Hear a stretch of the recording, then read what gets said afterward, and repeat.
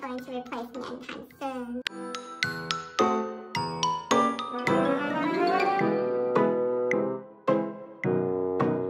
Oh my gosh. Hey guys, welcome back to my channel. I'm Soy, a UX designer at Google.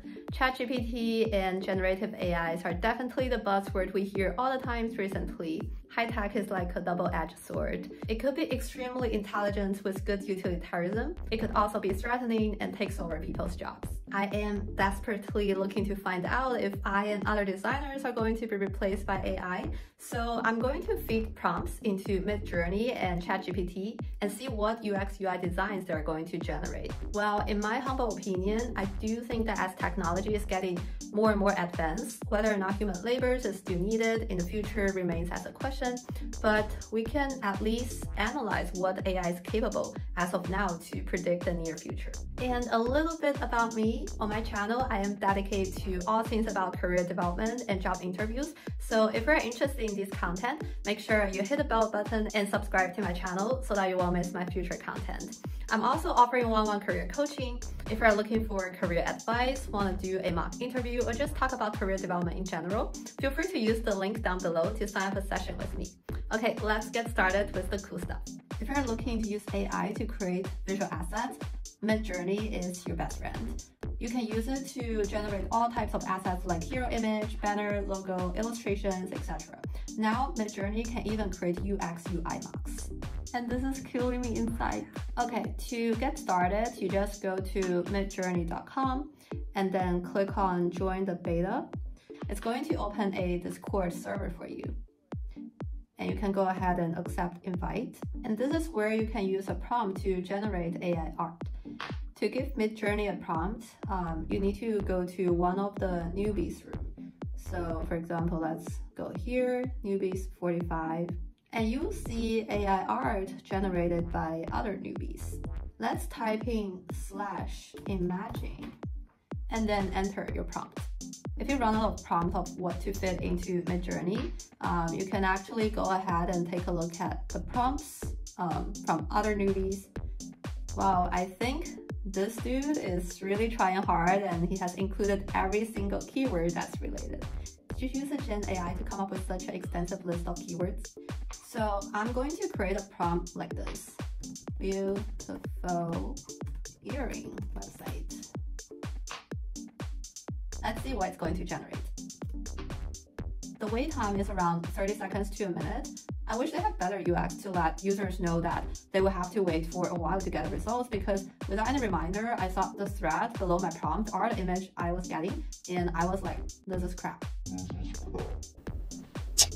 Okay, it's going to give me four different variations based off the prompts and I can make tweaks from there.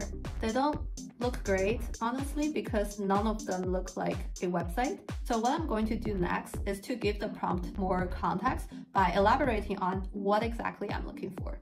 In my next prompt, I'm going to copy what I previously had and I'm going to add keywords like UX, UI, landing page, website, pearl earrings, and CTA because CTAs are important for e-commerce sites.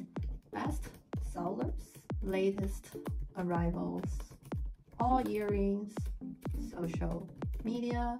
You can use commas to separate the keywords and try to be more specific on the look and feel of the art you look for, what content or components need to be there, and what type of art or design you want. And let's see what Midjourney is going to generate this time. Okay, I think the results are getting way better because at least they look like websites now. Nice. On the navbar, I see menus and I would assume bestsellers, new arrivals, all earrings could fit into the tabs. And the visual features pearl earrings as I requested. Also, the layout of this one looks like it's for product details. Um, definitely gives me a lot of inspirations on how to highlight key information of a product. In all versions, the product image is always taking a lot of real estate, which makes a lot of sense for a typical e-commerce site. I really like V1, so I'm going to select V1 here and it's going to produce four more versions based on this one. I think all these look similar, but the navbar design, buttons, and content layouts have some differences. Now I'm going to show you a super dope feature that will help me to customize and decide the layout of a website landing page. If you already have some designs and layouts you like, you can actually tell Midjourney what images you want them to use as a reference point to generate AI art. I want to use the landing page of my Soy Design Picks jewelry website as a baseline. So I'm going to do a screenshot of my landing page and then upload the screenshot to Dribbble and then copy image address. In the prompt, I need to paste the image address and then reuse the prompt I used before. Let's see if any magic is going to happen. Oh wow, all these results are actually quite interesting. As you can tell that Midjourney actually referenced the original jewelry site landing page and then generated a few variations based on that. And I can see that Midjourney actually exhausted the combinations of different layouts and components. And this is definitely giving me a lot of ideas of how I might want to optimize the landing page of my jewelry website. Okay, to build a website, you will also need content for title, taglines, and product descriptions, etc. Let's switch to ChatGPT and see what they will come up with. And here's a prompt I would like to use gives me content for a jewelry website, including hero title, tagline, CTA, sections for jewelry, and details about jewelries. Wow, I really like the typing animation because it looks like it's a real person who is actively thinking and typing out his thoughts. And the results are actually not too bad though. It just needs some tweaks and customizations for sure.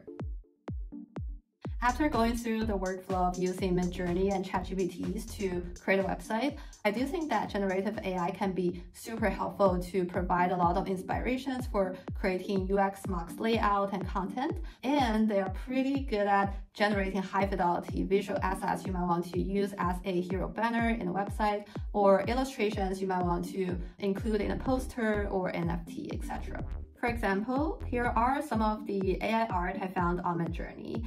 This Journey to the West artwork generated by Midjourney is just insane. I was immediately immersed in the story of going on an adventure in the character's attainment of the sacred scrolls through the look and feel of the illustration. This was absolutely mind-blowing when I first saw it, but I think AIs has lots of rooms for improvement in terms of performing complicated tasks like talking to cross-functional stakeholders to push a project forward. Because honestly, I think anything that is related to communication and establishing relationships with humans would involve complexities that AIs cannot handle at the moment.